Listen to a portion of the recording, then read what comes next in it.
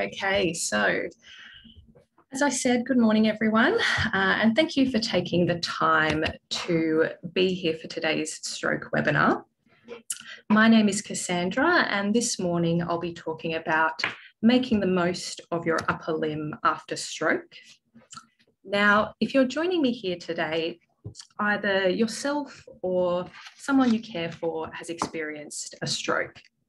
Now, whether that stroke was recent, whether it was months ago, or even whether it was years ago, the information that I'm going to give you today should be relevant to you all. And I hope that each of you can take something with you that is new or meaningful, or that you can apply in some way in your recovery going ahead.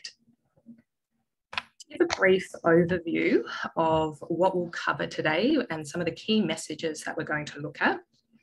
Um, we'll go first through what post-stroke upper limb therapy should look like. We'll look at why we use goal-based therapy to improve your participation in life. And finally, we'll look at how much practice you need to make the most of your arm and why. Now, before we do that, um, we'll talk just briefly at the role of physiotherapy and occupational therapy post-stroke both disciplines can provide upper limb therapy. So you might be working with only one of the two, you might be working with both. And these are some of the main jobs that we have as therapists when it comes to helping to manage your upper limb. So, first, it's our job to assess your arm function and your ability to complete everyday activities.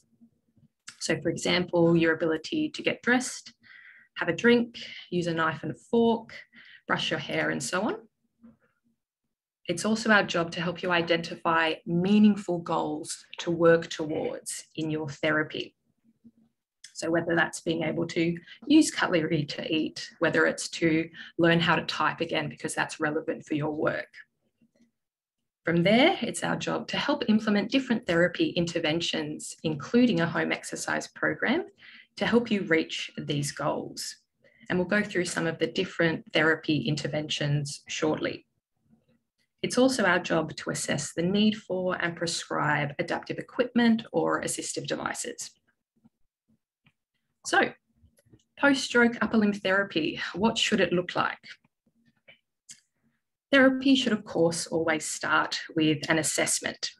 The first time each of you saw a therapist, they would have begun with an assessment.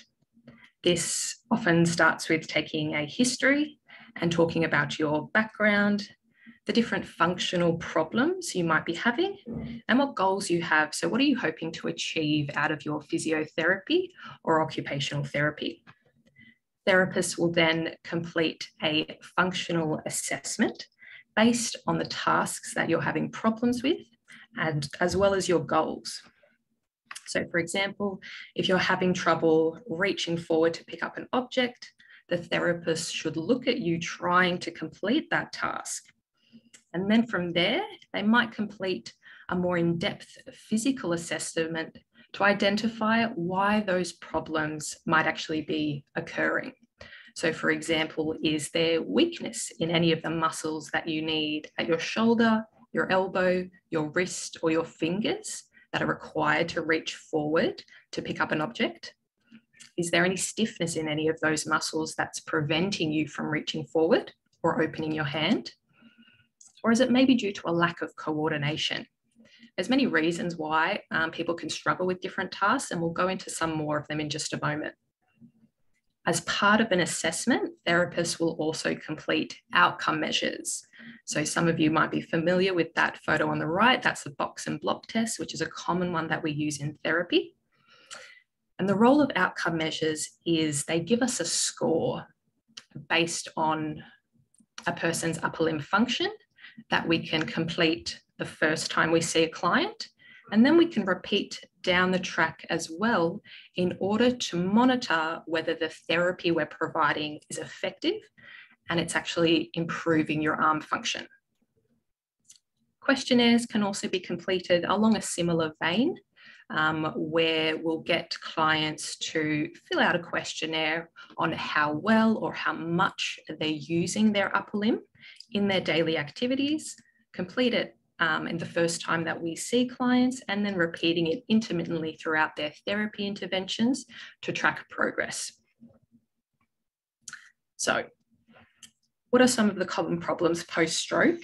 Uh, this is by no means an exhaustive list, um, but if you're here today, it's likely that one or more of these is relevant to you. Many people will have issues with weakness, and that can range from quite mild weakness to complete paralysis of their arm. People can also experience a loss of coordination.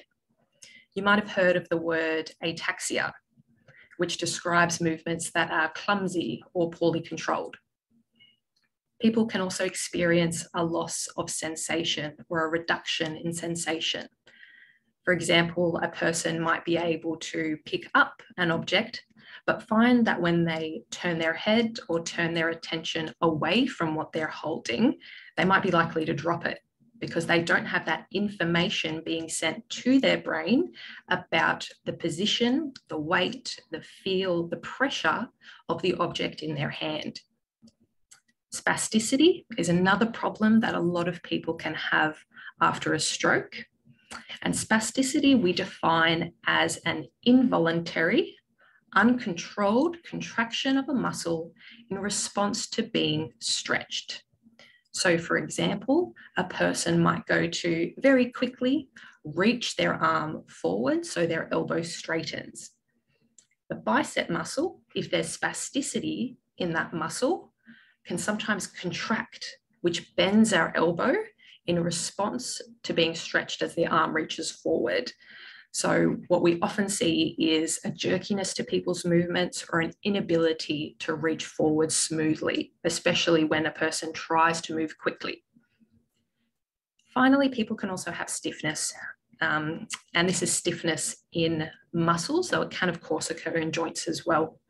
So, it's quite common after a stroke that a person's fingers curl over into a resting position that's almost like a fist. And it can be very difficult for that person to open their hand. That doesn't always mean that a person has spasticity, but there might be tightness in some of these muscles in the palm of the hand and in the fingers that are pulling the hand into this closed position. And if they're very weak, it can be very difficult to overcome that stiffness and straighten your hand, straighten your fingers. So, with some of these common problems in mind, what do we actually do about some of them? We're very fortunate as physios and occupational therapists who are working with stroke patients that we have a beautiful set of clinical guidelines that tells us what different types of therapies are effective after a stroke based on all the best and most recent um, research that's out there. This version was published in 2017, but one of the great things about this set of guidelines, and this is an Australian set of guidelines, is that they're what we call a living guideline, which means that the online version gets updated as new evidence comes out. So it's a rolling living guideline, which is great for us to have. In these guidelines, um, there are some different therapy options that are in our toolbox to help clients regain some of their upper limb function.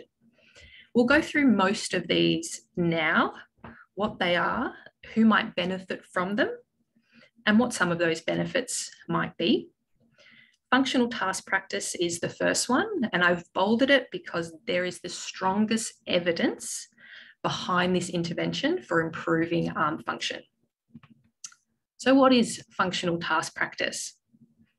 Functional task practice is practice that is specific to a given task. For example, picking up a cup, pinching a peg, using a knife and fork, cutlery to cut, cut up your food. This approach is based on the very, very simple idea that in order to improve a person's ability to perform a task, they need to practice that task. If a person wants to learn to play the guitar, they need to practice playing the guitar. When we're kids and we want to learn how to write, we need to practice writing. So our exercise that we do and the practice that we do needs to be task specific. I've just got the uh, quality of this photo isn't, oh, sorry, the video isn't as good as it could be, but we just have a very quick video here of one of the clients using a knife and fork um, to cut up um, the dough on his plate that we're using at the moment. You can see as well, he's got electrical stimulation on his arm, which is helping him to pronate, which is turn your hand over, which is the movement that we need in order to cut up food. We don't do it with our palm facing up, we do it with our palm facing down, which involves rotating our forearm. So you can often combine therapies as well. We'll speak about electrical stimulation a little more in just a moment, but these different therapy options often aren't presented individually. Often we're combining them to find the most effective way um, to complete a given task. So really the majority of therapy for a lot of people should comprise of functional task practice, particularly if that's, that's a person who has a fair amount of movement already.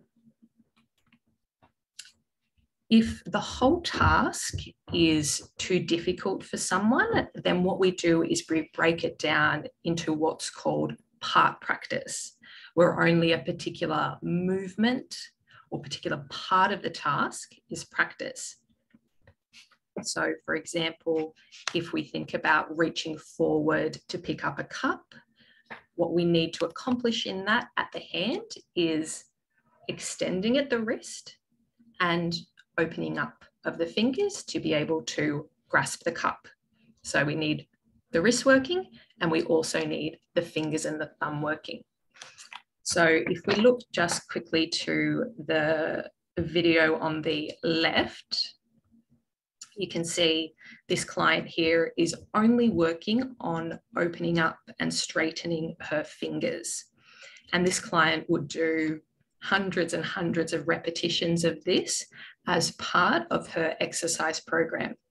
You can see with her other hand, she's stabilizing the wrist, so that's not moving. She's only focusing on the fingers. So this is what we call part practice. But it's really important when we're doing part practice that we're keeping the overall task or the overall goal in mind. Just lifting your fingers for hundreds of repetitions can sometimes feel a little bit meaningless, and we're quite aware of that as therapists. So, making sure that it's really clear why you're doing that particular movement to be able to open your fingers to grasp a cup or any object is really important. In this video on the right, you can see that she's really just focusing on the wrist movement now. So trying to bend her wrist backwards, which is what we need to be able to grasp a cup. So just working on that part of the movement. Often once we do enough part practice, we can then reincorporate it into the whole task for that full functional task practice.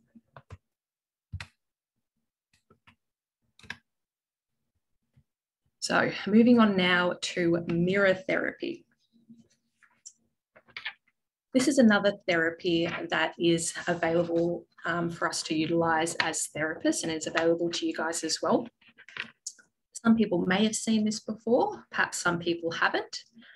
So, what does it involve? Mirror therapy, as you can see in this photo of this particular client on the right, involves placing a mirror between the arms so that the image of a moving, non affected limb gives the illusion of normal movement in the stroke affected limb. So for this particular client, he's got his affected limb, the right hand, inside the mirror box, and his non affected, his left hand outside. And you can see him looking into the mirror. And that gives the impression that the right hand is moving as the left hand does.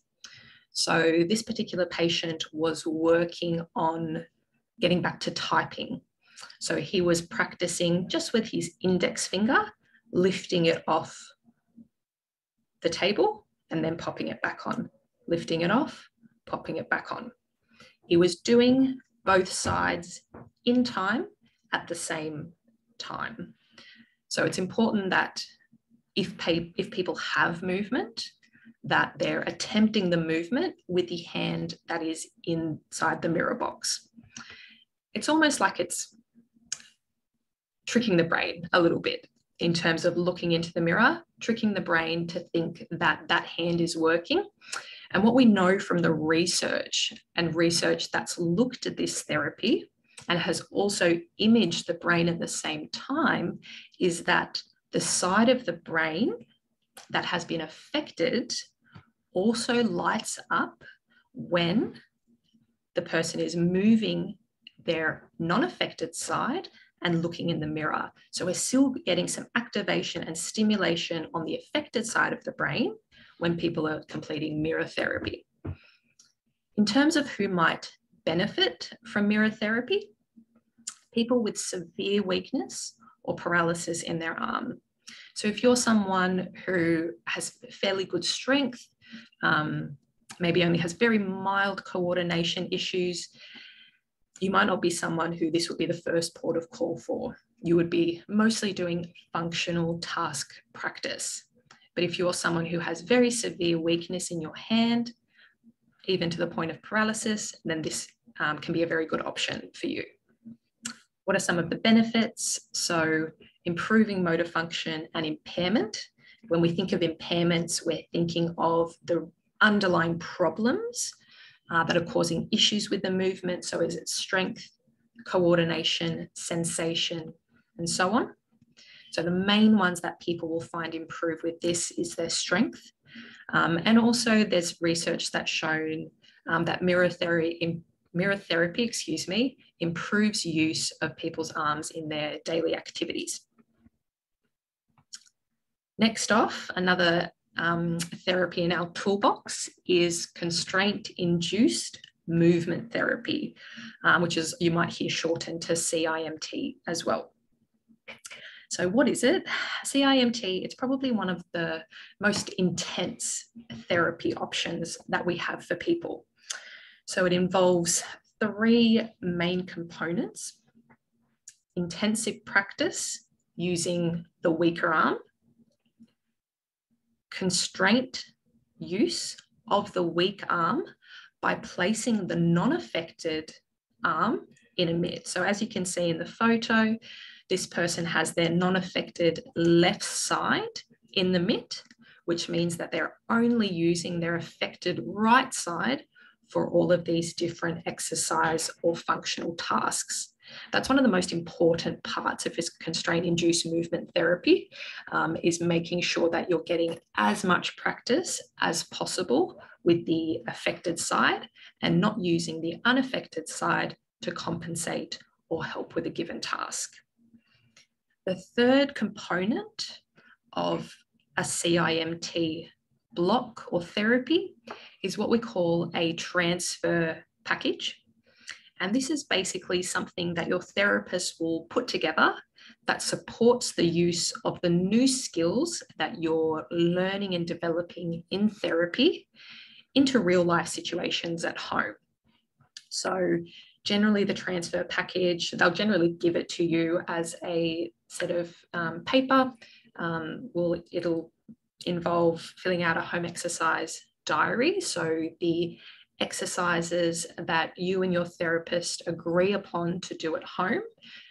You've got somewhere to log those and bring them back to your therapist. It'll also involve implementing different homework skills. So, not necessarily the exercises that make part of your or that are part of your home exercise program, but different additional things to do around the house. So, for example, using your affected side to turn the light switch off, using the affected side to, you know, pick up your mobile phone when you need to use that. So things that are challenging but achievable with the affected side. There'll be a list of these that are very relevant to, you know, things you can do in your everyday life. That'll form part of that transfer package. Part of that transfer package will also involve filling out a motor activity log every day. The motor activity log is just a, a questionnaire that has a list of different tasks like turning the light switch off, using your phone, whatever it might be, and rating on a scale of zero to five how much you're using your affected arm to do that activity and how well you're using your affected arm to do that activity. And then from the start to the end of therapy and during as well, we can track your scores on that motor activity log to see whether you're improving.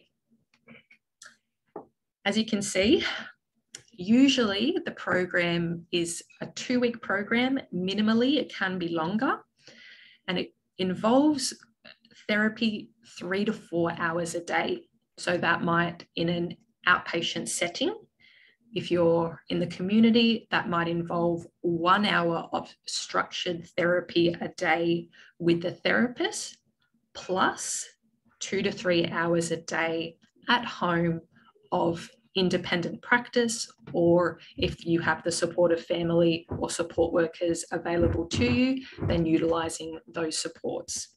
So it is intensive. And for that reason, it isn't necessarily a therapy option that will be useful or available to everyone. But for those that can manage that degree of therapy intensity and frequency, given fatigue levels and all of the other things that can impact a person's participation in therapy, then it is a really great option for a lot of people. So, who might benefit from this? Really, the program to be eligible for a CIMT program, a person needs to have some movement in their hand and in their shoulder. So clinicians and therapists will do what's called a flannel test. Um, you can just use a, we generally just use a tea towel for it. But what we ask our clients to do is to pick up a tea towel off the table using whatever grip or grasp is available to them, lifting it up off the table and then releasing to drop it.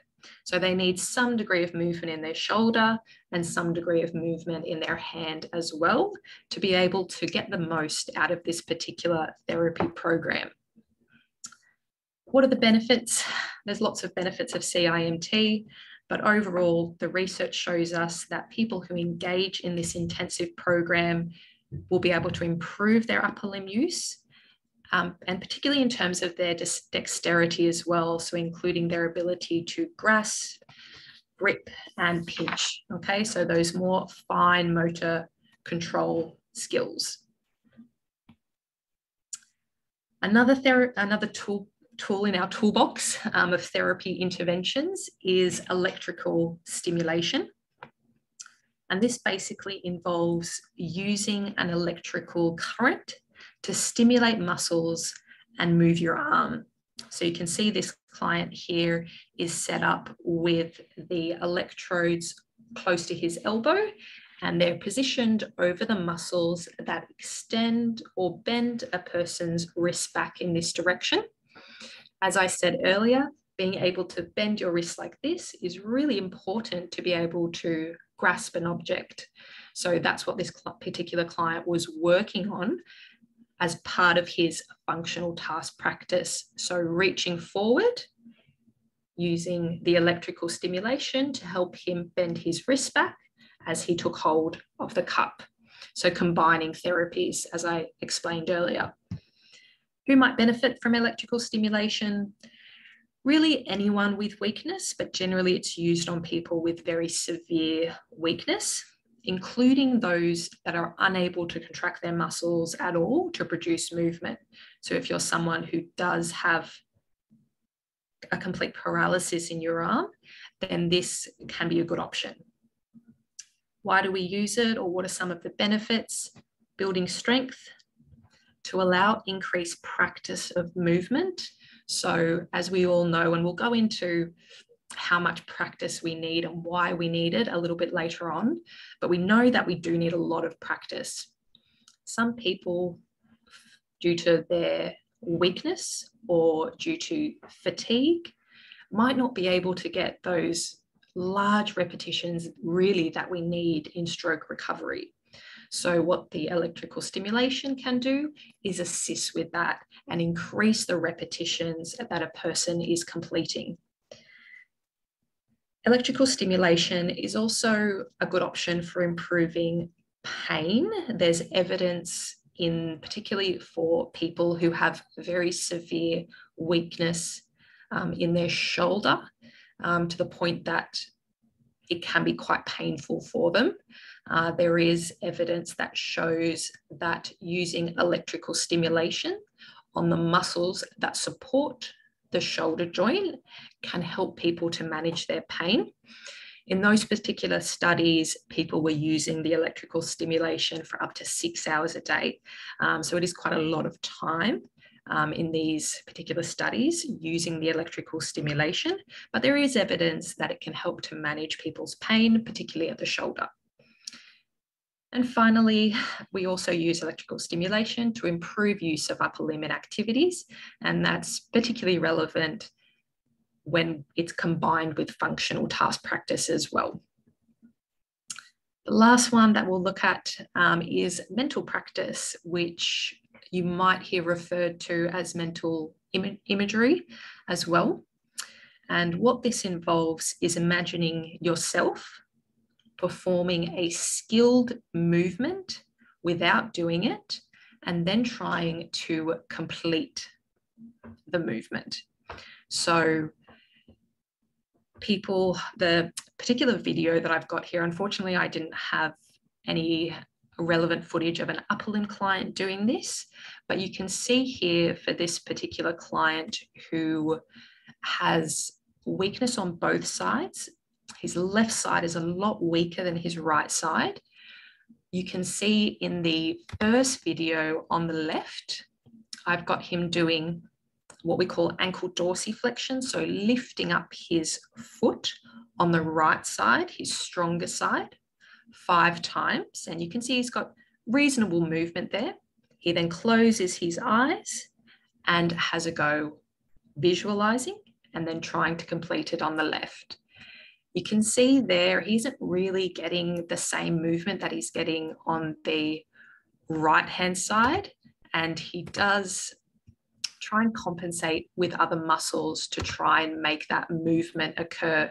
So if we just watch that again he finishes this particular movement on the right hand side has a go closing his eyes visualizing a perfect movement on the left hand side and then has a go, but he's moving his knee a lot. He's moving his hip because he can't activate the right muscles on the left hand side at the ankle to lift his foot up.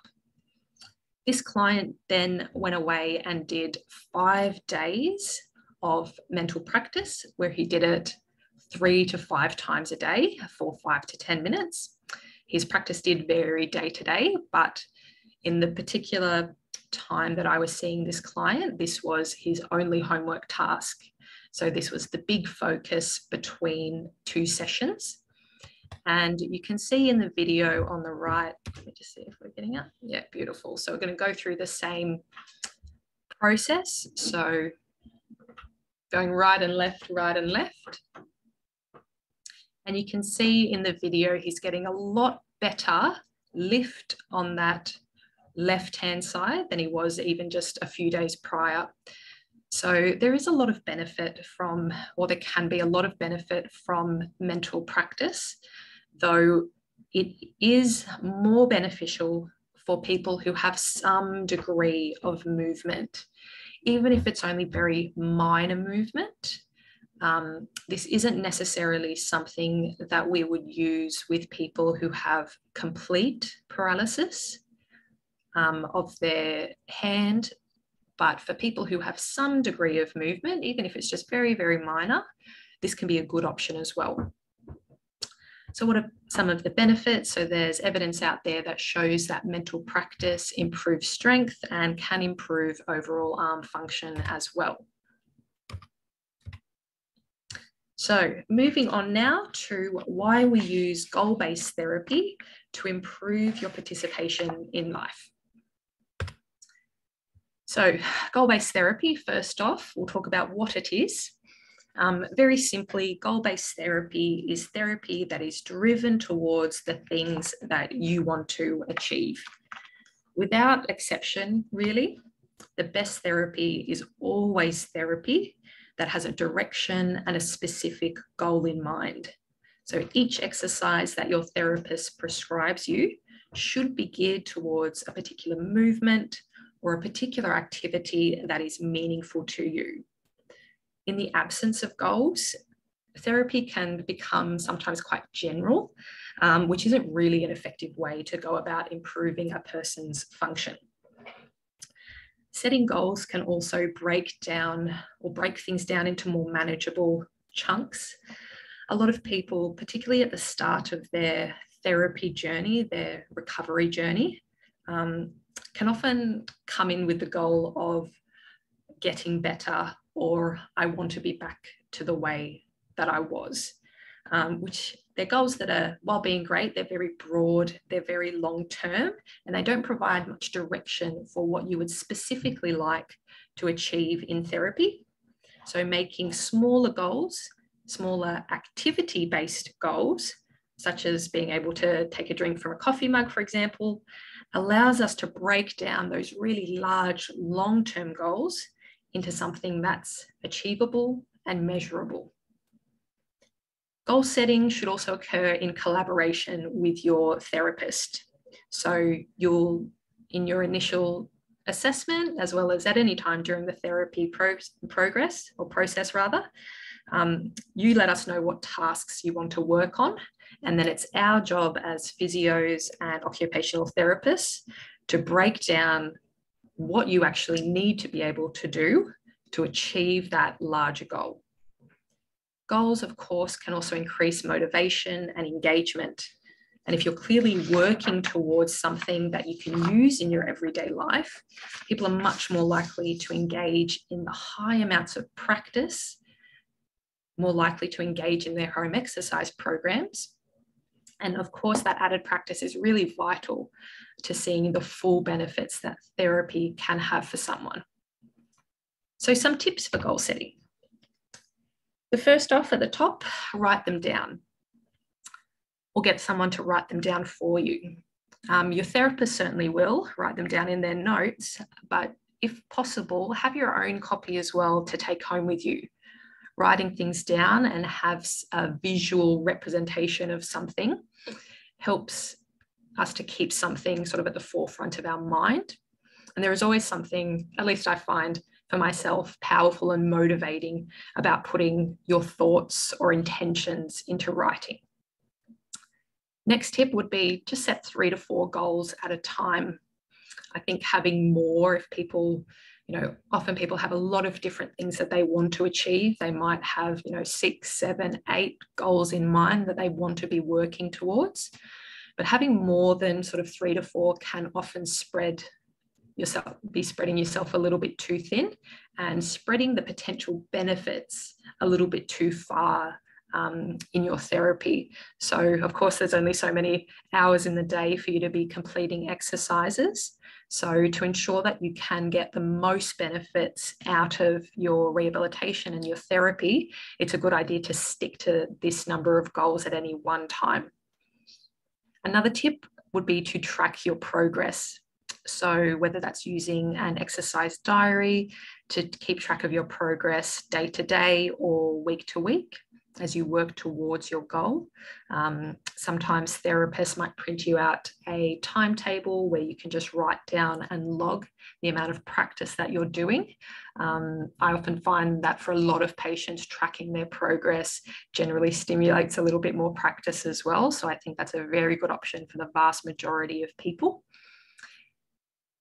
Next tip is to discuss your goals as well. So, obviously, you'll discuss them with your therapist, but discuss them if, you, if you're comfortable to and happy to, discuss them with your family, discuss them with your friends, someone that you can trust that can help to keep you accountable and can act as a little bit of a, a motivator as well. when it comes to goal setting, um, we also want to make sure that there are short term goals as well as those larger long term goals. So there should always be both. Um, often, people, particularly early days after a stroke, they're very good at seeing the long term goals. And as therapists, if um, clients aren't able to come up with goals that are achievable in the short term, then that's where we'll come in um, to really break down those long term goals into shorter term goals that will be achievable in six weeks, 12 weeks, three months, six months, and so on. So basically, it's our job to come up with those necessary stepping stones to that long term goal. And finally, the last tip is setting SMART goals. And, and this is our job as a therapist as well to help put these goals into something that resembles a SMART goal. So we'll go quickly over what a SMART goal is. So SMART is an acronym where the S stands for specific. So a specific goal just means a well defined goal. So, for example, I would like to be able to do up the buttons on my shirt independently would be an example of a specific goal. The goal should also be measurable. So, is there a clear criteria of what it means to achieve that goal or not achieve that goal? In the example of doing buttons up on a shirt, there is a clear, I guess, success or lack of success whether person whether the person can or can't do that task. But you can also make it even more specific in terms of potentially adding in a time. So, say a person would like to be able to do the buttons up in their shirt in under two minutes. So, that's an additional way to see whether a person um, can or can't do that task in a measurable way. The A in SMART stands for attainable or achievable. So, we want to aim high with these goals but it's also important that the goals are realistic. And it can often be quite difficult for clients to be able to, I guess, foresee their progress, and we wouldn't expect clients to. So that's where our expertise as therapists come in as well to be able to say, yes, this is an achievable goal in four weeks, or maybe it's an achievable goal in three months, six months, and putting an attainable time frame on it. So the R in SMART stands for relevant. So the goal should be relevant to you and meaningful to you in your life. And finally, which I mentioned before, T is time frame. So set a time frame for the goal. So for example, that could be something that's achievable in 12 weeks, 18 weeks, six months, a year, whatever it might be. Having a time frame on the goal, um, almost like a work deadline or whatever it might be, if there's a specific time frame on it, people are often much more likely to put in the work to achieve it because there's a, a set time frame um, that you and your therapist would have agreed upon to achieve that goal. So the final part of the presentation is how much practice you need to make the most of your arm and why. So a lot of you would gen like know a general answer to this. Um, and a rough answer would be, well, lots, right? We know we need lots of practice. And you're absolutely right.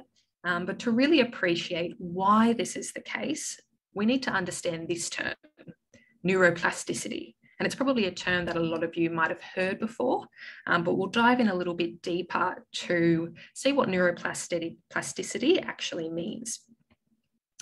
First, let's talk about how the brain works. So, the brain is made up of neurons or nerve cells, more than 100 billion of them. And these are essentially the building blocks of the brain and the nervous system. So, that includes our spinal cord. And what these neurons do is that they send electrical signals between different parts of the brain and also down our spinal cord to the different parts of our bodies. Signals that tell us to move, tell us to speak, tell us to move our hand to pick up our coffee mug off the table. When a stroke occurs, the neurons in the affected part of the brain die. Whether that's from being deprived of oxygen, if you're someone who's had a clot in their brain, or perhaps a bleed in the brain as well, can also lead to that lack of oxygen. Rehabilitation and therapy isn't about fixing those affected neurons. It's about this neuroplasticity, which essentially is the ability of the brain to form new connections, to rewire, remodel, and change in response to experience. And experience in this context um, is probably synonymous with practice. So to change in response to practice. Neuroplasticity, when I first learned about it, it was I was, I guess, fairly mind blown by it. And it was one of the reasons that I wanted to be a physiotherapist in the first place, because it was such a novel idea to me at the time that after a stroke, the brain was capable of moving a particular function from a damaged area of the brain to another undamaged area of the brain. And this particular type of neuroplasticity we refer to as functional neuroplasticity. So the brain changing what part of it is responsible for a given movement. So, not so much fixing the neurons, but creating new connections to make movement possible. I suppose it's like, you know, learning the piano. The more we play, the more neural pathways will develop in that particular part of the brain um, that are responsible for moving our fingers quickly, for those dexterous movements that you need to play the piano. Okay, so how much practice do we actually need? I wish I had a perfect exact answer for this. Um, but unfortunately, at this stage, research doesn't tell us exactly how much practice a person needs to recover their function. What research does tell us, though, is that by and large, the more practice a person can do, the better. So there was a really nice research study that was done in 2012 that demonstrated this. And this particular study, they aim to investigate the effects of different amounts of arm rehabilitation training on the functional recovery of that weak limb. So I think there were 32 participants altogether, and they got separated into three different groups. Group A received one hour of therapy a day. Group B received two hours of therapy a day, and Group C received three hours of therapy a day. They receive this therapy five days a week for six weeks altogether. And these were the results. Well, actually, the good news about this particular study is that all groups actually had a significant improvement in their arm function. So the particular things that they looked at was strength, coordination, and overall function and use of the arm in daily activities. So all the three groups improved, which is great. But most importantly, this study showed that Group C improved significantly more than Group A did. And we can infer from that that the more therapy a person does, the better outcomes they'll have.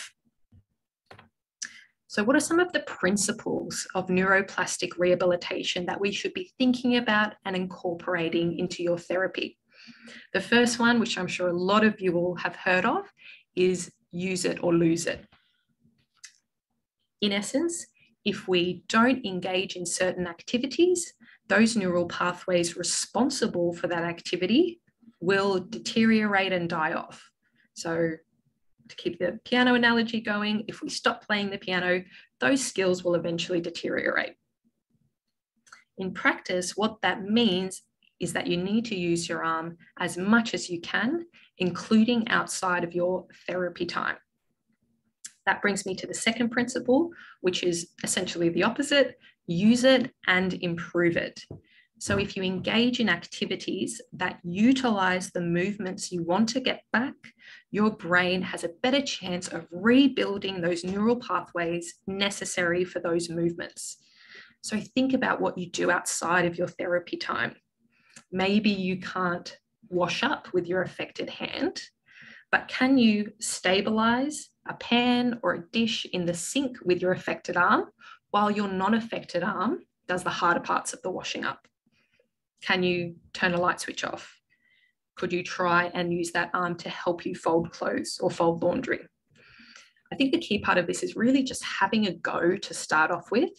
Um, a lot of people with strokes end up with what we call learned disuse or non use, which is over time, particularly for people who might spend time in a sling or a shoulder support, which restricts movement.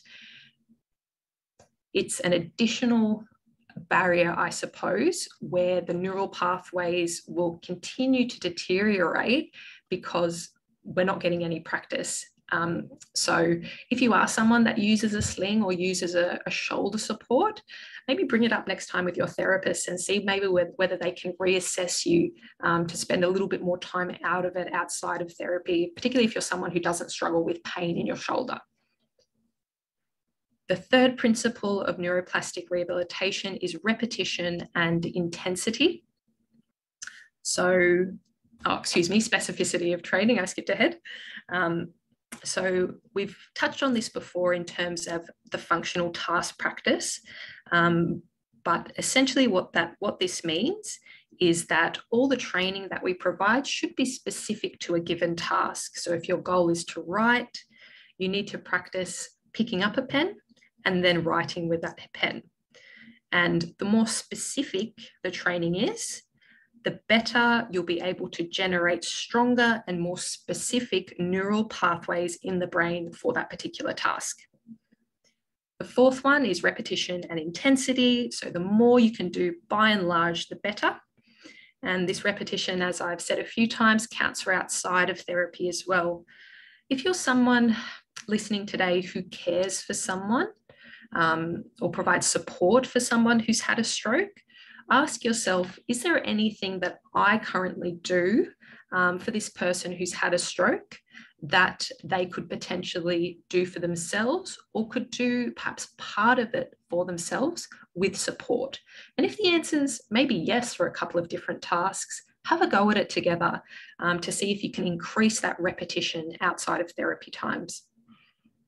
The fifth principle is time matters. Uh, so, in short, our brains are more likely to make greater changes, neuroplastic changes in the acute stage um, after a stroke um, than in the chronic stages. Um, and there's research out there um, that shows that early intervention after a stroke really is paramount in people's recovery. Um, but that doesn't at all mean that people in the chronic stages after stroke um, can't make changes as well because absolutely they can. Um, generally, those changes are a little more difficult to make and can come a little bit more slowly, but they're certainly still possible even years down the track. And the last principle um, that I want to speak about is salience matters. So, salience is how important or meaningful or worthy a task is to you. And to get the most out of rehab, the task does need to be important to you. And that's where setting goals, setting good goals, comes into this. So, how do we increase practice? As I said, make meaningful goals, log your practice. So, this could be using an exercise diary, printing off a table of your week, which you can do yourself and just you know write down the exercises and tick them off or log how many repetitions you've done recruit the help of family or support workers if they're available to you. Um, obviously, they can act as a bit of a support system, um, a bit of encouragement or accountability. Um, wherever possible, though, therapists should endeavour to set up exercises that you can complete without any physical assistance. Um, to so that you're not reliant on anyone else to get your exercises done. Um, and of course, using your arm outside of therapy. So in terms of take home messages for day, practice, practice, practice, use your arm as much as possible in your everyday activities. Let your therapist know what your goals are. And the last one, um, be kind and be patient with yourself, um, which I understand is perhaps easier, easier said than done. I know that people often use the phrase sort of road to recovery um, after stroke, and that inherently implies, I suppose, that recovery is a destination or a set endpoint um, rather than a journey, and it very much is a journey. Um, it's one that can be quite slow for some people and and can be very difficult. And I have so much admiration for for my clients who keep moving uh, and keep working and keep turning up to their therapy day after day and week after week because they still have things that they want to achieve even years down the road the final thing that I want to leave you with today um, is analogy, an analogy that I've found useful in my own personal life at times um, when I've been trying to build a new habit or develop a new way of thinking. And I think it applies really, really nicely to the idea of neuroplasticity and stroke recovery. And I'm a bit of a visual learner myself. So if that's you as well, then this might strike a chord with you. Um, I want you to imagine a pathway through the forest like this one here. And that pathway is a neural pathway. One of the many neural pathways in your brain that's responsible for moving your arm and moving your hand. Imagine a stroke as a landslide through that pathway. Not fixable, granted, but divertible. As therapists, it's our job to give you the right tools to carve yourself a new neural pathway. Now, this new neural pathway, unfortunately, it's uphill. It's very, very overgrown. There's a lot of dense underbrush. It's rocky and it's, it's uneven. The first time you tread it, it might feel like climbing Mount Everest. But the great thing about these neural pathways is the more you use them, the more we improve them. So each time you walk that pathway, you clear a little bit more of the underbrush, get rid of the overgrown branches, and that pathway becomes easier and easier and easier to access. Movement becomes easier and easier and easier to access. Like I said, if you're a visual learner like me, this is something that I've found really useful in the past. Um, but I hope I hope that's something that can be relevant relevant to you as a, an easy way to visualize how neuroplasticity can actually occur in the brain. So thank you for watching and thank you for taking the time this morning uh, to hopefully learn, learn a little bit about how to make the most of your upper limb after stroke. If you do have any questions, um, feel free to pop them in the chat. We do have five to 10 minutes now. So if there is anything you would like to ask, then please um, jump into the uh, chat and I'll have a quick look at them now to see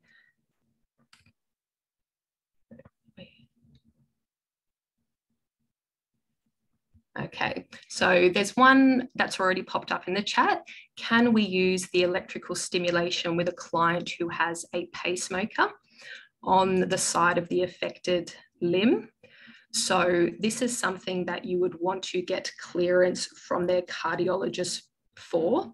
So you would never use electrical stimulation over the site of the pacemaker, but it isn't a complete contraindication, we call them.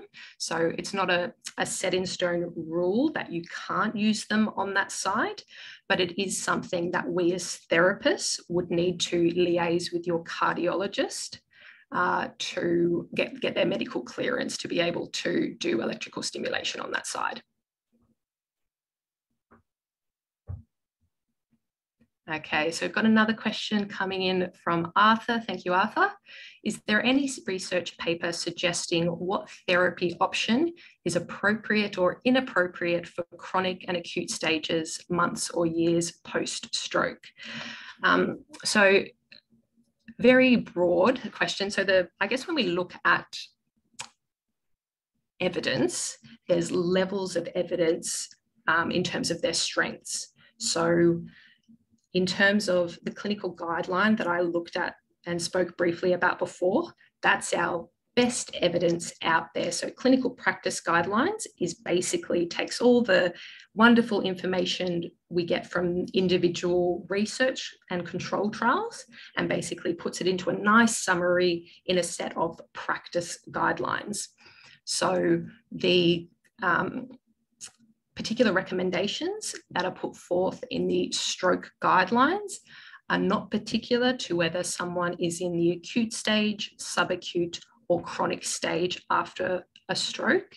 Um, what I would say is if you're in um, the acute stage of, of a stroke, and really the chronic as well, you want to be, I suppose, utilizing as many of the relevant therapies that are available to you.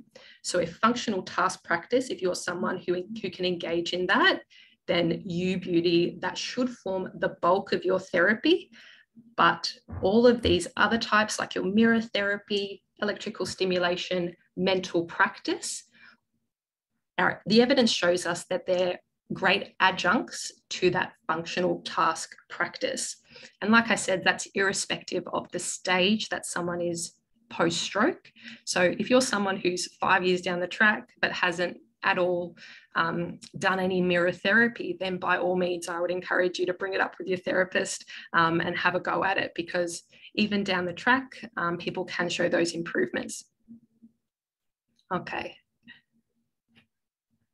Thank you, Phil. All right, so if there's any other questions, we've got three minutes left, pop them in. Um, but if there isn't, thank you so much, um, everyone who has attended today.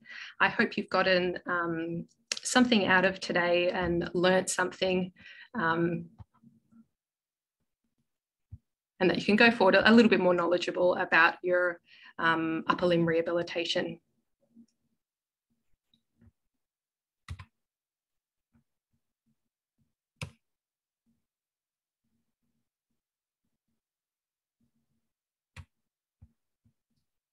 Okay, it looks like those are all of the questions, um, but by all means, if you have um, any other questions that pop, it, pop up in the future, um, particularly if you're not someone who um, we see in the clinic here at ARC, then by all means, um, you can email our office or give them a call and they can give you my um, email and I'm more than happy to answer any questions via email as well, or even on the phone if you have them. Okay, all right. Thank you, everyone, um, and have a good afternoon.